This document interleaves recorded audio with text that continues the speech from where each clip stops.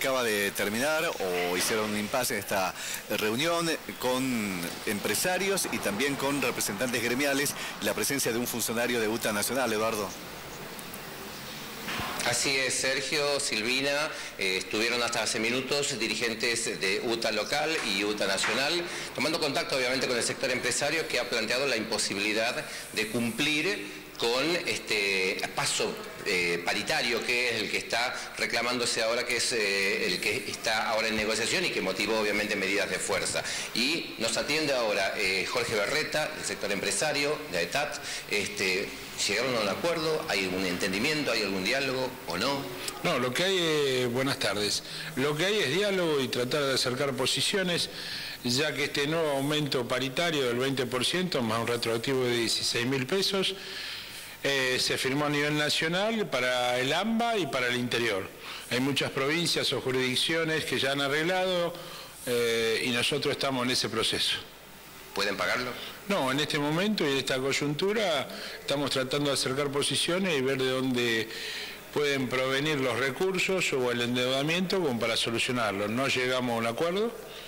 ¿Y de dónde pueden provenir esos recursos? Es lo que venimos diciendo siempre, el, subsidio es una compensación tarifaria. Si bien nosotros tuvimos un aumento del 24,35%, en la tarifa, en los ingresos de la empresa, que está compuesto por subsidio, boleto estudiantil, recaudación arriba del coche, eso impacta en los ingresos no más allá de un 14%, porque los subsidios son nominales y congelados al 2017.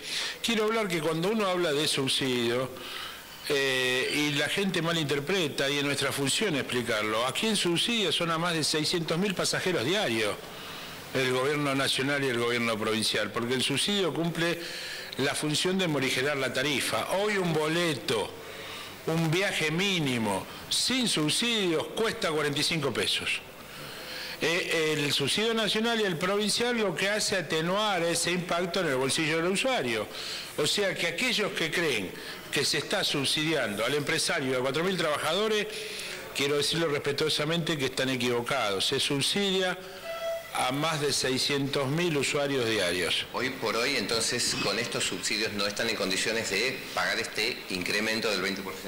Así es, con esta tarifa y estos subsidios que no cubren el estudio de costos básicos, resignando nosotros integrar al capital, rentabilidad y amortización o cuota de unidades, es imposible de cumplir. Pero estamos trabajando para solucionar el problema. No queremos desde nuestro sector, y entiendo que el sector de UTA tampoco, perjudicar al usuario. Se habló que en la legislatura podría haber algún tipo de sanción de normativas que pueda aliviar esto que ustedes plantean como la situación de crisis. Sí, debo reconocer el trabajo encabezado en la parte legislativa por el vicegobernador, que se interesó y se está profundizando en los temas que, afectan al, al sistema del transporte, en definitiva a los usuarios de la empresa. Eh, ¿Puede salir eh, alguna reducción de cargas impositivas? Puede estar todo en la carpeta, porque nosotros nos requirió, nos requirió la Comisión de Transporte, encabezada por Morbesten, los estudios de costo, el impacto, el impacto económico de los aumentos salariales y se comprometieron con más de 20 legisladores, a los cuales agradecemos, a estudiar en la solución estructural del transporte. Esto es parte se trataría esta semana. Ahora, eh, ¿se puede descartar o afirmar que puede haber medidas de fuerza o van a continuar las negociaciones? Quiero ser honesto, estamos trabajando para que no las haya. Entendemos... ¿A qué se comprometió el sector laboral?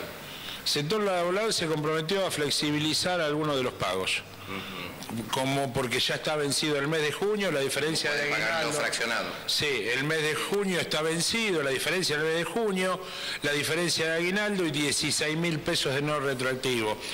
O sea que hay buena voluntad de los dos sectores, eh, sumado a que ellos van a tener conversaciones con las autoridades de la provincia, creemos y estamos trabajando fervientemente para que no sufran las consecuencias de los usuarios. Jorge Berreta, muchísimas gracias. Bueno, ustedes nos han escuchado con mucha claridad lo que Este, ha sido esta reunión con el sector laboral, eh, lo que aún no se puede afirmar que estén descartadas totalmente las medidas de fuerza, pero se estaría trabajando para que no haya, con la posibilidad de que puedan este, recibir algún pago fraccionado y por supuesto mientras tanto se avanza con algunas medidas este, de las que está pidiendo el sector empresario para poder volver a tener este, sustentabilidad del servicio. Bueno, veremos cómo avanzan entonces las cosas y las negociaciones desde allí. Gracias, Eduardo, ¿eh? por este contacto.